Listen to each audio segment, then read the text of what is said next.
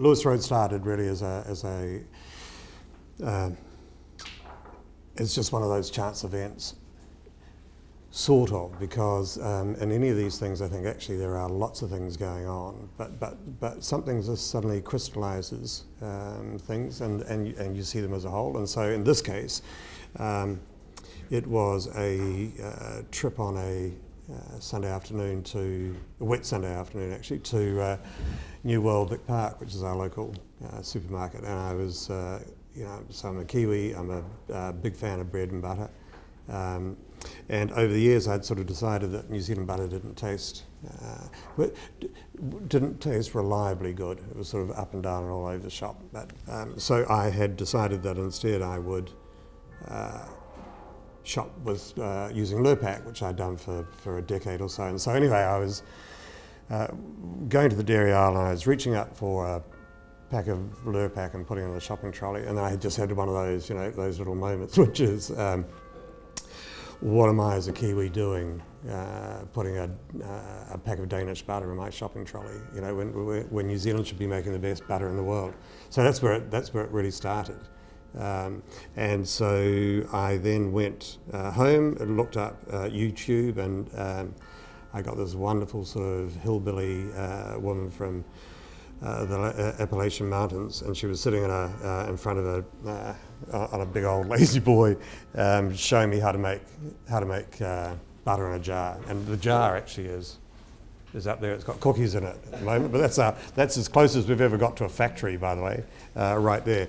Um, so I made the I made the butter, and that was that was good, and it sort of proved that. Um, it's pretty easy to make um, butter. It's really hard to make great butter, but you know, it, it, it, was enough to get me going. And then the, the tipping point, if you like, and there's always sort of, you know, one thing that just sort of tips you over the edge. And for me, it was uh, we were going out to dinner that evening know, with a group of friends, and and uh, one of these, one, one, one of the one of the guys was uh, was you know was, was seriously successful, and, uh, and so it was like quite an alpha sort of uh, table. So and he was saying, so what are you up to? And so I was running through my you know, list of things I'm doing. And I could just see I wasn't sort of quite making the connection I should have been making, Mike. So I said, oh, and uh, by the way, I'm going to start a butter company.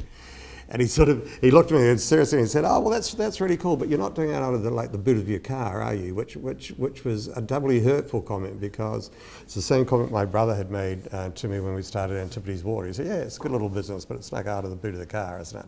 So I was, I was doubly hurt by this. So I said, no, no, no, no, it's going to be a real, it's going to be a real business. I'm really serious about it. And so that was on the Sunday evening, and on the Monday I rang uh, the owner manager of uh, New World, uh, Jason Witehira.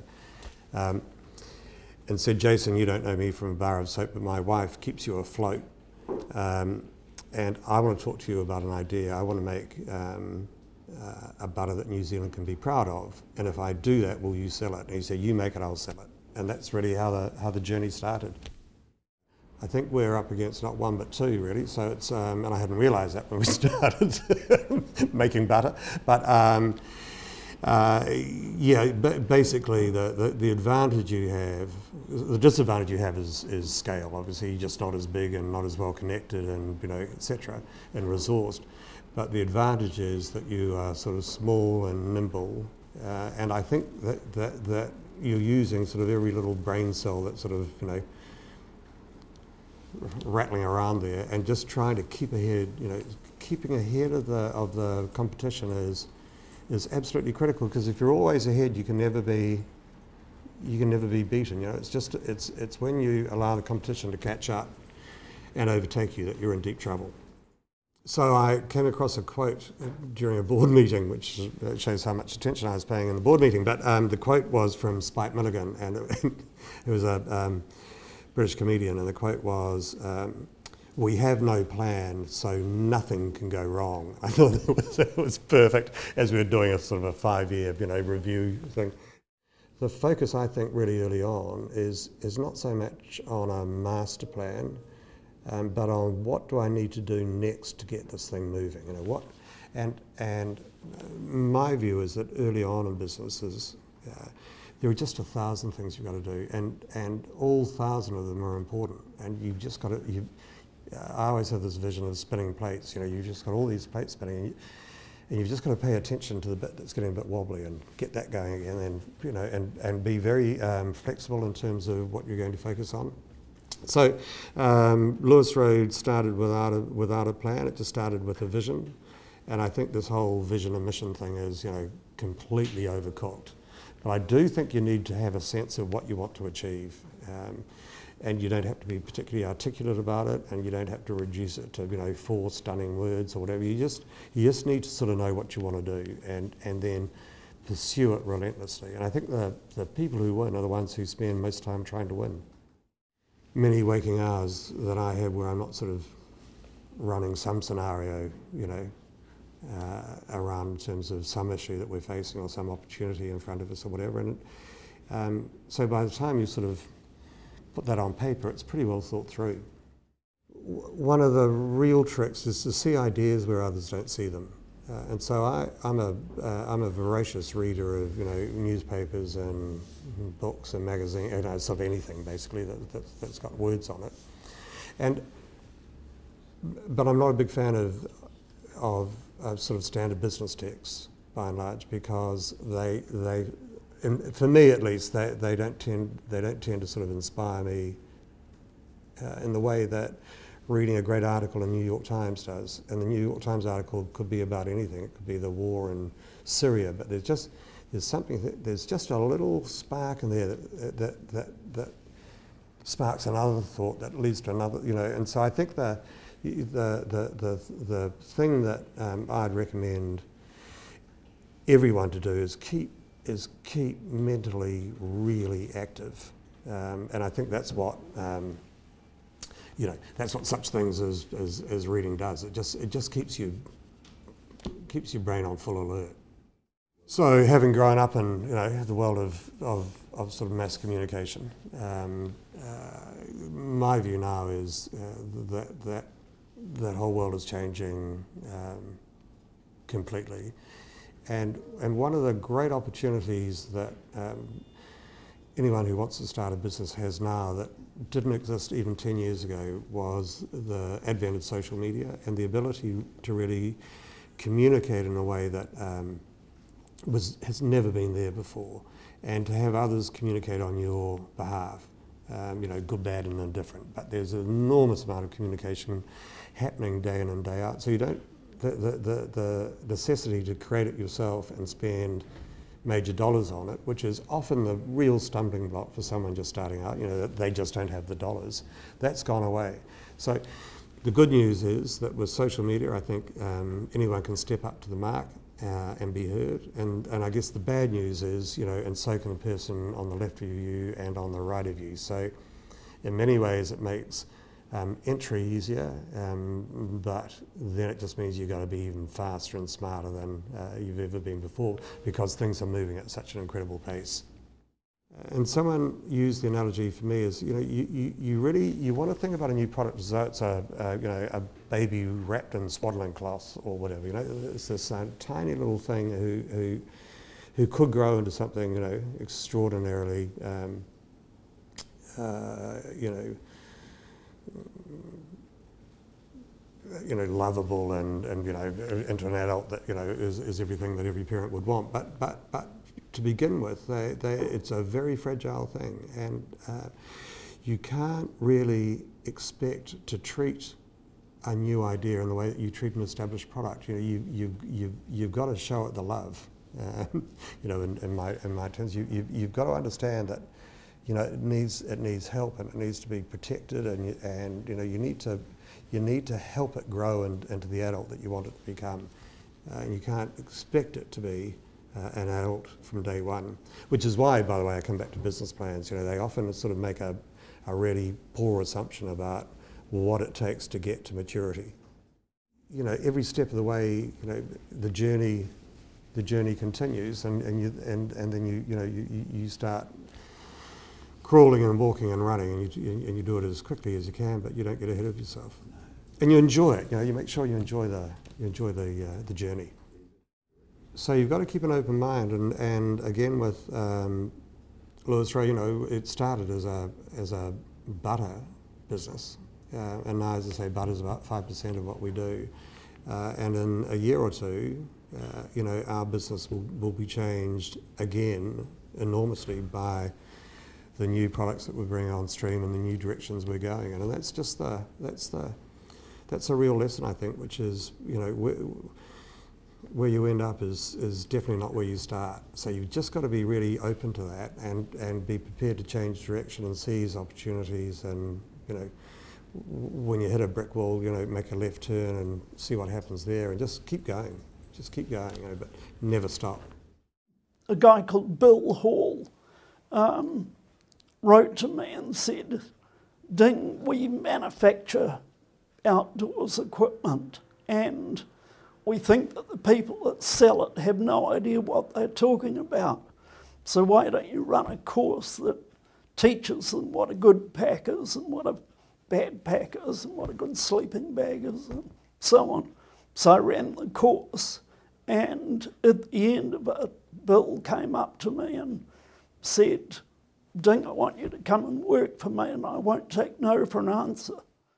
If you have a business plan or a strategic plan, I always say hold it light, lightly, not tightly, right? Because if you're so hell bent, we are going to make that soft drink by the end of the year, come hell or high water, right? Even if I'm just going to ignore the fact that nobody wants to eat sugar anymore, I'm going to do that bloody soft drink. You, you know, you're crazy. You've got to hold your business plan lightly and move with the market. It's that authentic deep interest in your customer and does your product or service have any value and do you care about anything more than making a lot of money out of it? I always find it fascinating that people's. um, actually want to win lotto and then run away. I'm thinking, or, or they actually think, well, if you're dreaming about winning lotto, what kind of life are you living? Do you think that a whole lot of money is, I find that odd. Like, I'd won lotto, I wouldn't be living here. I'd be, I find that really interesting. I think originally um, my view when I came into uh, Green Acres was that um, franchising in New Zealand had uh, been on a really steep growth curve um, and it was going really well, but it lacked uh, structure um, and, it, and it had exactly the, it lacked the exact things we've just been talking about and that it, it had a whole bunch of people had got on board this train that internationally was going like this. But around the fringes, it was getting really weak in terms of systems and support and structures. And so that's what I felt I could bring to this business when I was looking to invest in this business or a business. That's where I saw that I could bring uh, value to the organisation. And um, so we let the dream run, but we put some nice controls around it so that it would run in the right direction. And and uh, that's really what I've been doing for the last uh, nearly 20 years here. There's a lot of talk about digital disruption uh, uh, around the world at the moment um, and innovation and transformation. I largely don't agree with that. I think that um, uh, digital is an evolution of business, not a disruption.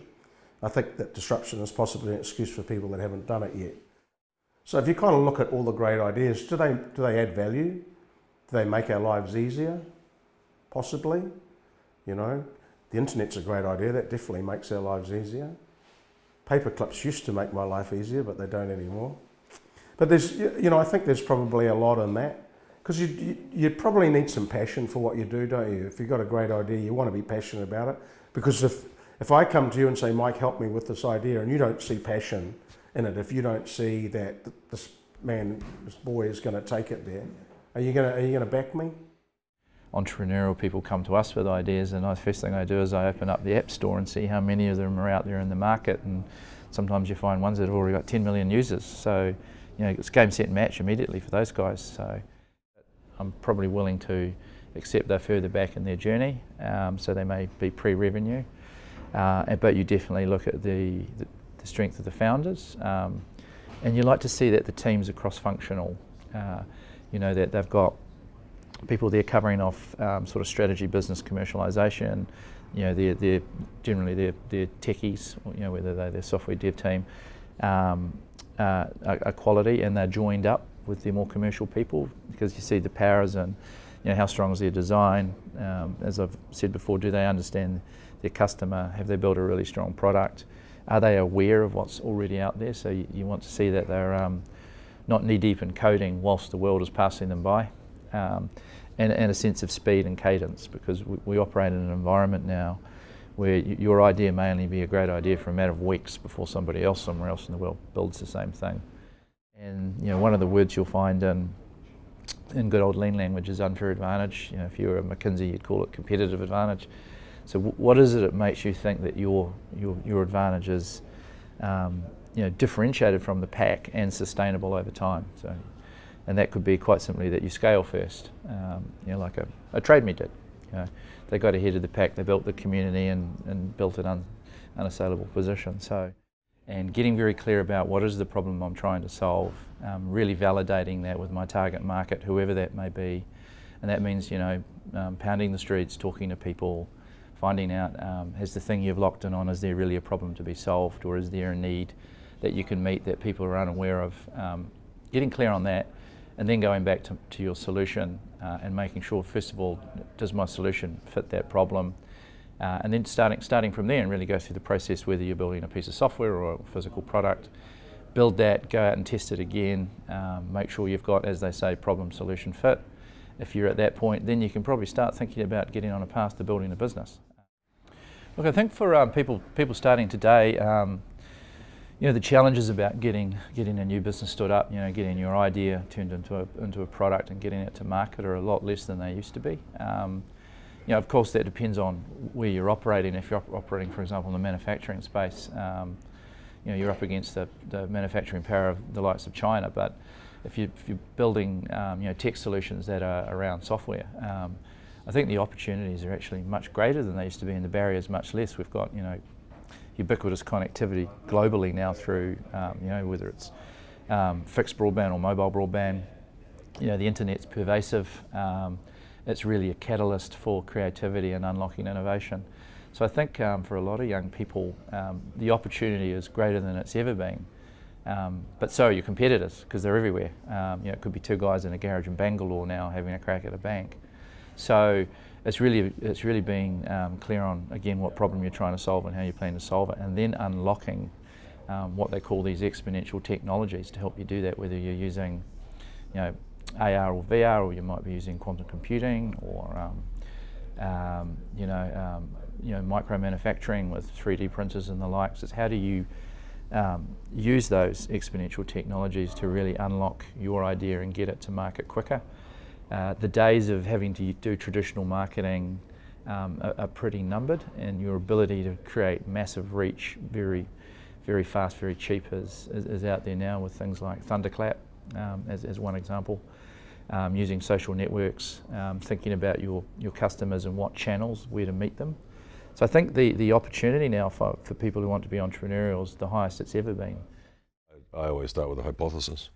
I, I, think that marketing strategy. I think I, I, years ago I was given a lecture by one, when, when I, years and years ago when I was a young man at university, and my marketing tutor said to me that marketing is simply your ability to put yourself in your consumer's shoes, and to have an empathetic point of view. And I absolutely, I, I know that stuck with me forever. I think that your marketing strategy starts with a hypothesis around where you believe you are bridging the value gap between the product, service, or offering that you have and what the consumer desire, wants, or needs.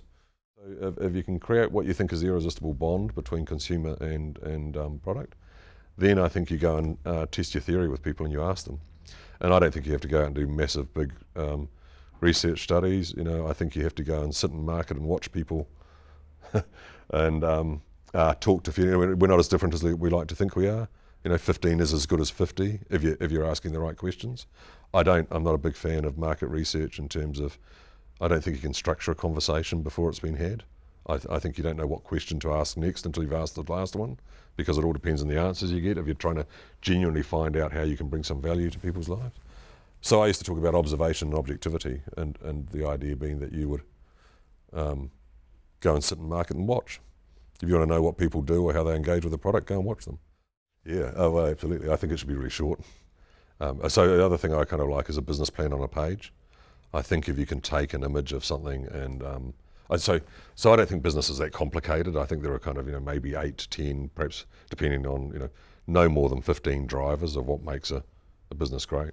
You know, your product, your position, your place, your pricing, um, your market share, your target, your you know the, the financial the, the performance, whatever else. Those things are, are not particularly complex to define, but you should be able to map it, and you should be able to get it onto one page, and it should start with the value proposition in terms of why would anybody care and what they're going to get out of it, and it should ladder its way down to the boring stuff in terms of you know volume targets and whatever else. So there are two things. I think you should have almost a blueprint for a business that should be able to be, um, you know, think of it as an infographic if you like on a page, and the other one is I think you should have the inspirational video that kind of explains it as a story. And I would look at doing that as a um, as a short inspirational story piece that you might tell one of your mates or your mum.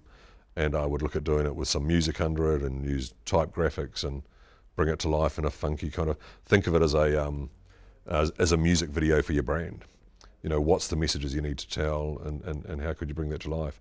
And I think if you have those two things together, you have the great thing for showing to a mass audience and everyone can go, wow, that looks exciting. I you know, really want some of that. And I think the other thing you end up with is, um, is a useful piece of, um, you know, business planning that you can put in front of people that are investors and go, this is what my business is all about. And, and this shows that I've, you know, thought, of, thought of all those things together, you know.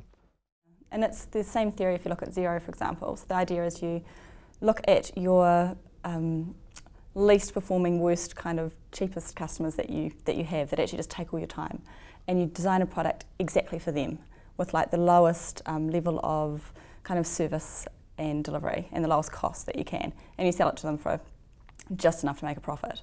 And the idea is that you get all these people in there, and it becomes it grows and grows and grows, and you add more and more I suppose, features as you go. And at the beginning, everyone's sort of sitting there and saying, oh, well, I, you know, it doesn't have enough for what I need to do. But for a few it does. And then you add a few more on. Oh, but it does have that now, so I've got a few on. And you basically kind of build up over the time this massive database of new customers. So the theory is, is that you keep doing that to yourself. Otherwise, someone else will come in and sneak away, which is what Airbnb did. It's what Xero did.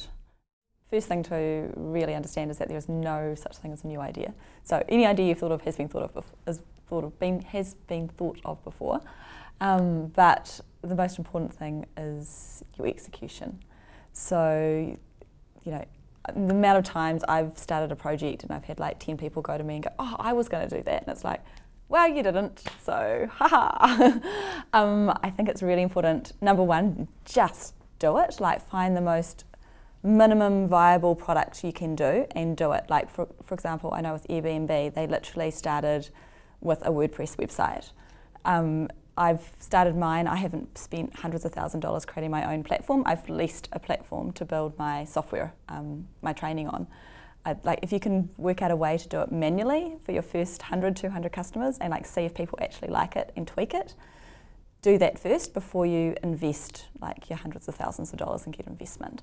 I think it's just absolute minimum viable product. The other big thing, especially in tech, get to 80% and like launch. And I've had so many people say that to me, and I was like, oh, of course I'll do that.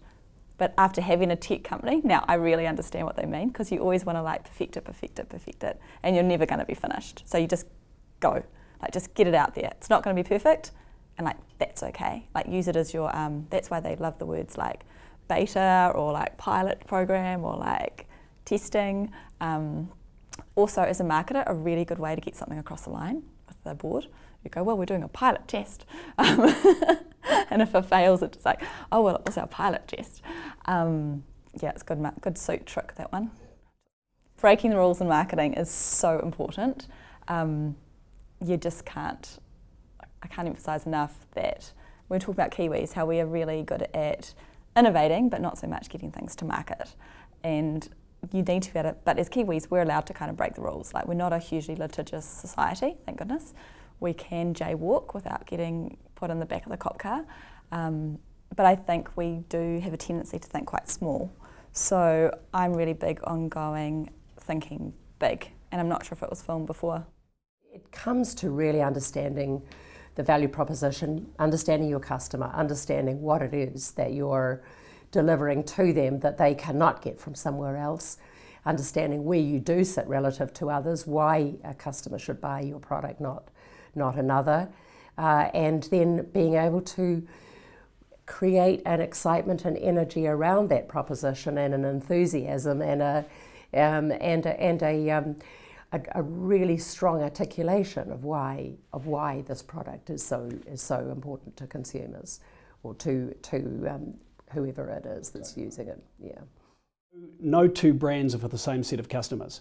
So, for example, you know, Cleo magazine versus Australian Woman's Weekly, both women's magazines. A lot of people would think a woman's magazine is a woman's magazine, but one's targeted at 18 to 25 year olds, the other one's targeted at 40 plus, and a totally different audience. So, different advertisers, different buyers, different types of stories, and so on and so forth. So, what I would say to people when they're thinking about brands is, is firstly, who's your market? Who's your audience? Who's your customer? Who's the person that's going to come in off the street and buy your product or is going to go online and buy your product? And what does that person look like? And what do they really need in terms of the product? And then what sort of brand position are they going to respond to? Again, maybe that's that, that's the nature of the entrepreneur. You know, you see it and you you feel it. You you go, this this this is a good idea, and you know, it's probably a little bit easier for me now. I'm a bit older, and you know, a bit of water's run under the bridge so you can look at something and sort of have a bit more of a gut feel around how you know how you think it could go and what, how the market might accept what it is, and that's whether if that's a completely new idea or whether it's looking at an existing business that you think you can you can change the, the dynamics of that business and create it turn it into something completely different. Um, you know, to be fair, that is what we've done with customized deliveries.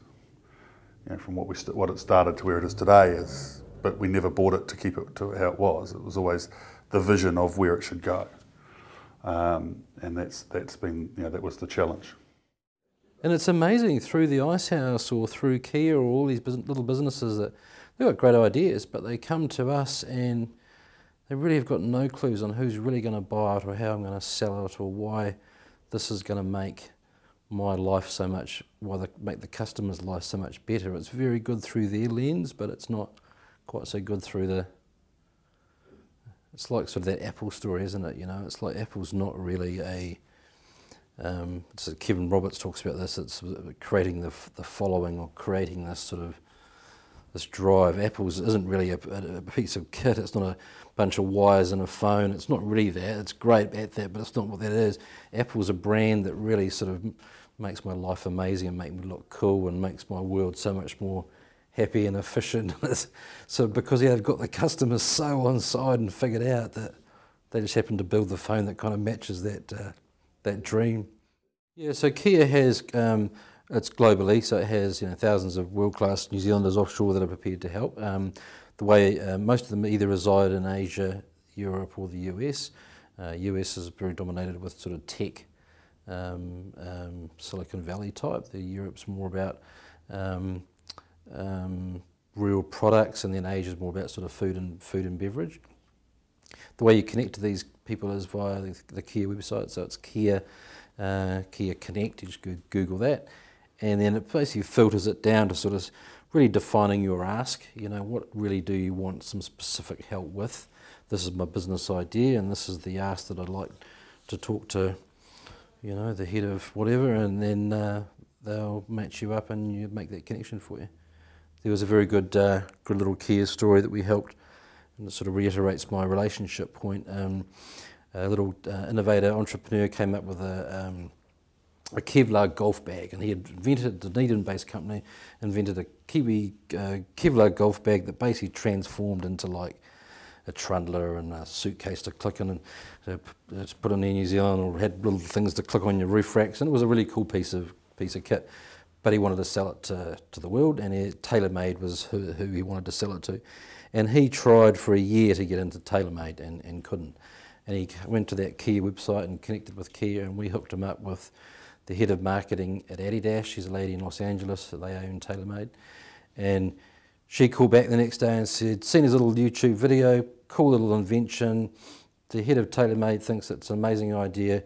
Get him on the plane tonight. He's got a meeting in LA at 5 o'clock on Friday. And the guy got on the plane and sold his little Kevlar golf bag to the world. And those little breaks and those relationships with those people can transform often a year of, you know, bashing your head against the wall. And having that little succinct story and reaching out to people like that to, to give yourself a crack is, uh, yeah, I pretty key. So I'm Geoff Ross. Um, I'm Jussie's husband. And um, and look, a long time ago I was in advertising like you, Hutch, and then started a vodka company with Jussie, and more recently have been involved in a fragrance and skincare company, Trilogy in Ecoya, and also Moa Beer, and a few other bits and pieces on the way. Entrepreneurship is about blind, dogged determination and passion to create something. And it doesn't really matter what it is. For us, it started off as four different businesses. Uh, nearly five, I think. There was a, a, boat building business. There was a dive mask. Yeah, there was a sort of a haberdashery of products business. Um, there was a product placement company, and there was bit of gorse and scrub covered. Right. there was some land development. There yeah. was a lot of enterprise. And um, as you know, Hutch, I wrote the book, uh, went back and wrote Every Bastard Says No, uh, the title of which is indicative of the, the attitudes that we faced at the time. And what I learned in talking to a clinical psychologist and trying to get inside uh, what it was that motivated us to create this um, international superstar of a, of a vodka was that it was inside of us all along as individuals. Um, we, were we were determined people right from the very outset um, to create something bigger than ourselves and to leave a legacy. And individually we had that, but together we had it as well. And Geoff's came from being off a farm uh, where he was uh, encouraged to, uh, to harvest things and grow things and kill things and sell them. And he got positive reinforcement for that. And I came from um, a single mother whose work ethic was extraordinary, and so that my role model was, um, you know, extremely hardworking and, and focused. And we got together when we were very, very young, and we were utterly determined to do something significant. Yeah, not every idea is a great idea, and some some are good ideas, and some are great ideas, and some are have a shorter route to success than others. Um, and there's no preset formula for determining which ideas are going to be the clear winners and, and which are not. Um, but it probably, probably back to your first question, Hutch. You know, um, what do entrepreneurs have? I guess they have belief. You know, and they they have belief that their idea will work, and eventually they will. Um, some just take more time and more money than others. And I think the attitude to failure is critical. Uh, it's, it, it's in New Zealand we're really uh, not as supportive of people who have uh, who have a, a, history of failures, and I think you have to accrue some failures to get better. Um, in, in the States, you know, if you've had, you know, two, three failed businesses, then they, they think that can make you better as, a, as an operator. Um, here, you're stigmatised and it's, it's difficult to carry that into your next business. Yeah, look, I had eight amazing years at Saatchi & Saatchi Wellington with some very, very clever people who I learned a huge amount of. So, uh, and then and then when we started 42 Below, had two business partners, Grant and Steve, came from different backgrounds to me, completely different backgrounds to us, and uh, we learned a huge amount off them. So, yeah, the more smart people around you, the better, and the more smart people around you who are not like you, the better. Experience uh, and then and then post analysing what you've gone through um, is is a really great teacher. That is self critique. Yeah. yeah. What um, Grant taught me to, uh, actually he taught me a lot about sales and the value of sales, which we might talk about soon because it's, it's such an important skill. But after a sales call um, that we did together, he would say, righto, what did, what did we do well, what did we do wrong? You critique me, I'll critique you. And we'd do that in the car straight after a sales call, write it down, and then head to the other call. And by the end of the day, you know, we were getting better and better in our sales call and our calls and our individual performance was, was on the improve.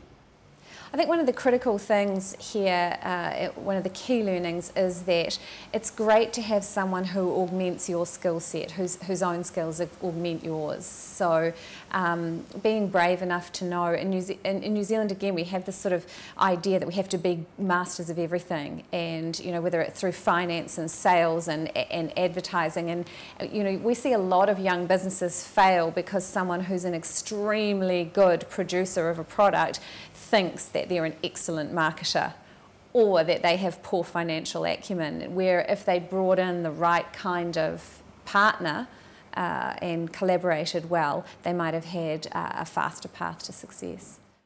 A lot of people think marketing is kind of an ad or um, packaging, but marketing is is the the smartest marketing actually happens, you know, when a product or service is created. You know, creating something that's incredibly different. Uh, and then that creates word of mouth, and then that's more powerful than any advertising or, or, you know any other media. So yeah, marketing should be at the front of the process, and you know I guess that you know when we thought of um, 42 Below, I guess it was marketing-led thought. It was like people are drinking more vodka. People think New Zealand's pure. Um, people think New Zealand's like uh, some kind of Swedish country in the South Pacific. Mm. Therefore, we should be able to make vodka. So it was a simple marketing thought, really, which created it and the idea of telling a story. So we were on the 42nd parallel uh, down in Wellington when we founded it in the garage, and so from the front, it, it, you know, you do actually practice what you preach, Geoff, because. Uh, because it was called 42 Below uh, for that reason, and that gave us the story uh, which then, you know, years later, some of our great salespeople took out into the world. So suddenly, um, you know, bars, hot bars in Singapore and New York and London were hearing about uh, this uh, vodka that was brewed on the 40. Uh, wasn't brewed. Distilled. We brew now. Yeah, yeah. We distilled then yeah. uh, on the 42nd parallel and uh, with be beautiful pure air quality and what else was good about it? The distilled water. 42% alcohol, right. a little stronger. So yeah. we're creating a story even as yeah. we were um, distilling it in our garage at home. And if like if you're going to China, don't go to China. Go to a kind of a district within a city. You know, you need to focus right in uh, and find like-minded, like-minded people. Really, the personality. Have a good sense for the personality of the brand and the personality of the, the market, and make sure there's a good match. And, and, and to Jussie's point earlier, you know, often our distribution strategy offshore um, was actually driven by people coming to us. You know, we would get calls from a couple of young guys in Mexico saying, we like your brand and we, we're, you know, we're keen to have it here. So you have to vet, vet some of those or you end up kind of you know, getting chased with machine we guns. Had like, yeah. We had like the rogue division, and uh, Grant, who became um, Geoff's business partner, uh, said that the rogue division had to wash its own face, which meant that it had to sell uh, and get the cash in before it could actually go and visit the market. And there was all sorts of crazy stories that came out of those guys yeah, and the things that they Russia. got up to. Yeah. Russia, all sorts of dodgy deals and, and crazy things, which I wrote about in a chapter in the book. Yeah, so someone described it, you know, as kind of uh, like one of those dogs that kind of goes to the beach and chases a bird, then chases another bird, then chases another bird, and never actually gets any birds. Um, so you do, with your export strategy, need to figure out what is the one bird you're going to chase and and grab. Um, and then I think you've got to be there. I yeah, mean, that, that, yeah, that was the critical part for us. I mean, we uprooted ourselves, a cousin, uh, two very small children, and took two staff um, or a part of our team uh, to a tiny midtown apartment where we really uh, worked the streets, yeah. yeah. streets during the day and the uh, phones back to New Zealand at night.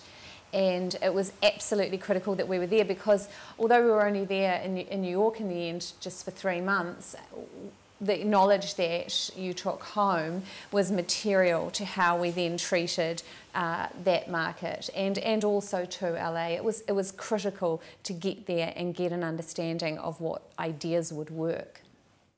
We were freaking out a lot of the time.